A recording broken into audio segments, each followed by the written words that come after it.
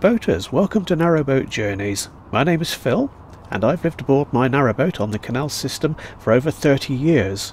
I share my home with my two cats, Bushka and Midge, and we spend our days travelling around the canal system and making videos. This video continues on from the last one and we're just approaching Nell Bridge and I'll be going through Nell Bridge Lock and then crossing the River Cherwell to Aynho Weir Lock and then after that mooring up just after Belcher's Lift Bridge.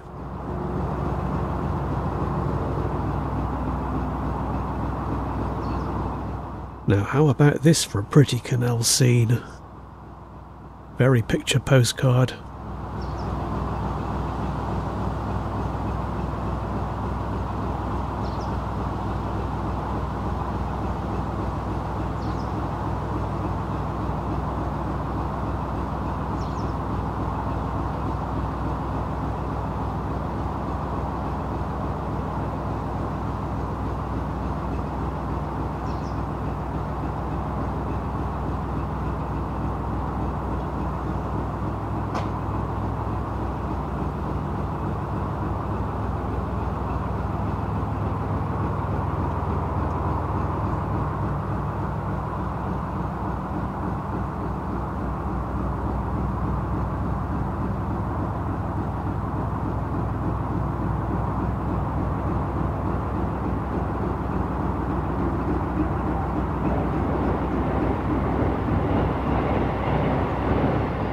Just after this bridge on the right there is a CRT maintenance yard.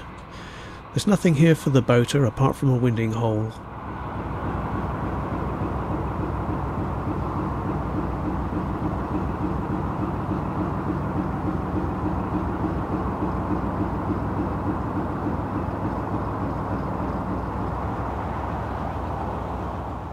And here we have Bridge Lock and Nell Bridge itself and a very busy B road that crosses Nell Bridge is the B4100 and you've got to cross over the road to get back to the lock. You'll see what I mean in a minute. It's uh, got, got to be quite very careful crossing over there. It's a dangerous old road.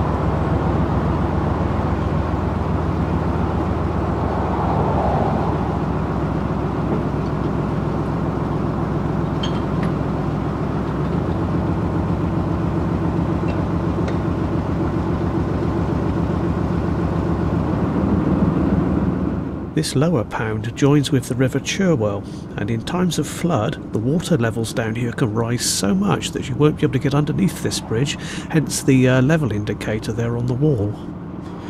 All okay today though.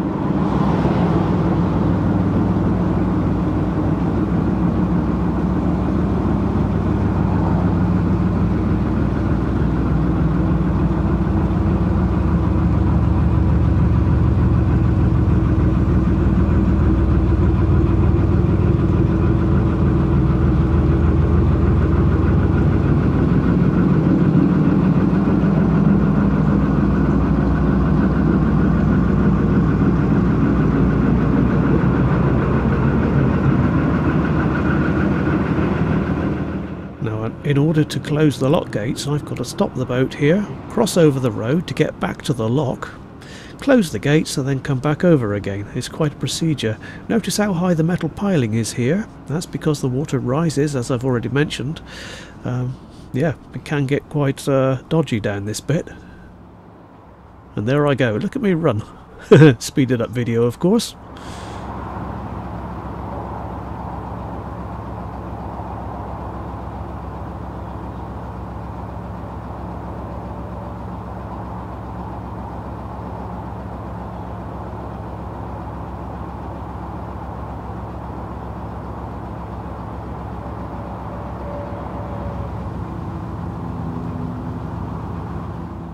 Right, that's that done. On to Aynho Weir Lock. But before that, of course, we've got to cross the River Cherwell. Luckily, there's no real flow on the river today, so it'll be fine. But it can be, you know, like I said, it can be pretty dodgy down here.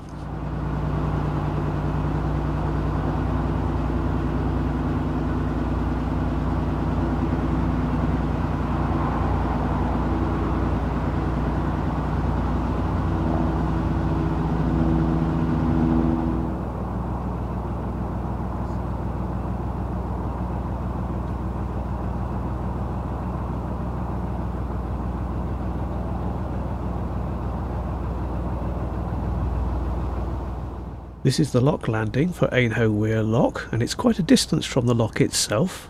Bit of a pain if you're on your own, but it's wise to get the lock ready before you venture down there.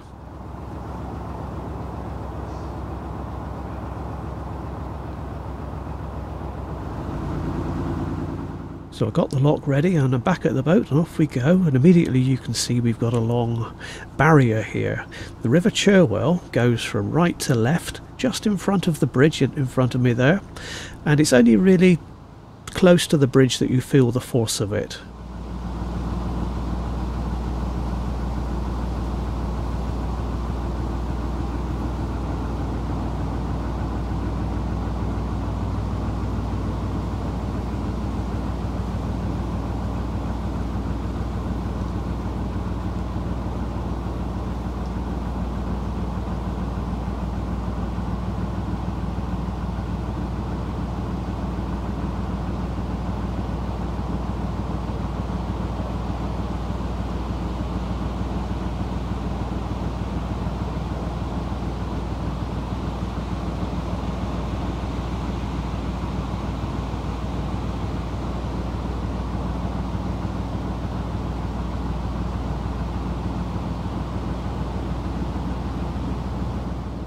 At the end of this wooden barrier there's a nasty little elbows of wood sticking out and it is possible if the river pushes you up against that barrier that that might poke one of your windows in. You have to be careful of that.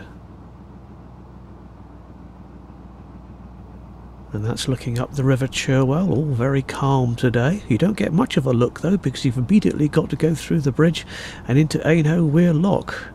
Now this lock is an odd shape one. All the all the locks on the Oxford Canal are like uh, narrow locks, apart from two, this one and Shipton Weir Lock.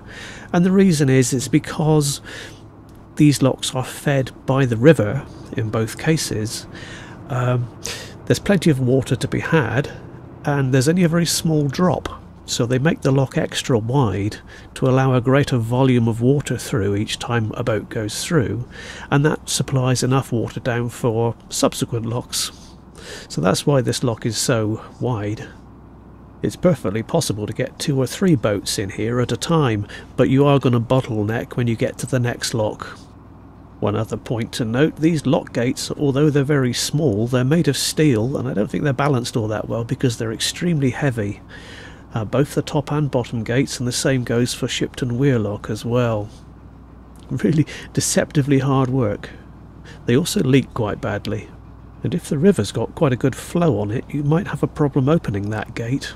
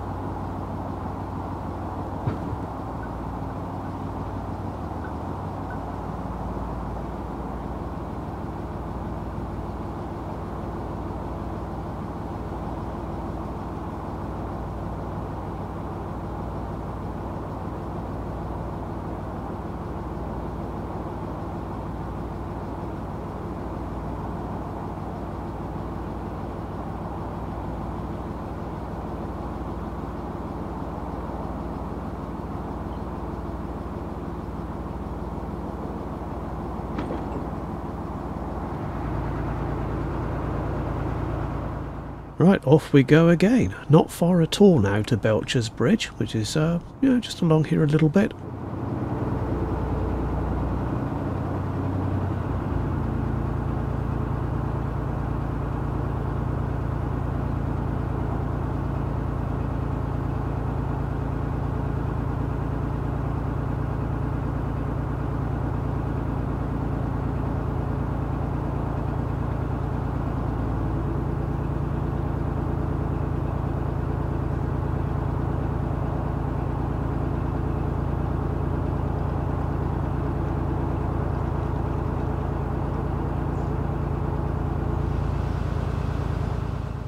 There is Belcher's lift bridge. This one is normally up, so you won't have to operate it. I don't think I've ever seen it down. And just after it is a very nice little place to moor up.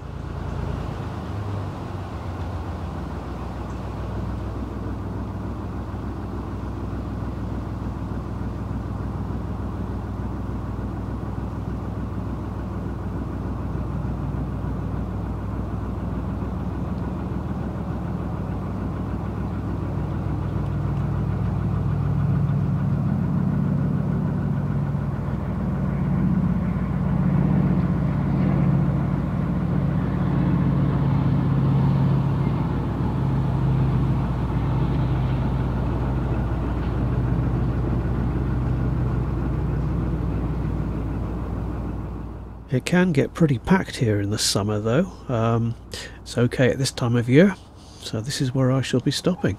So thank you for watching. I'll see you next time.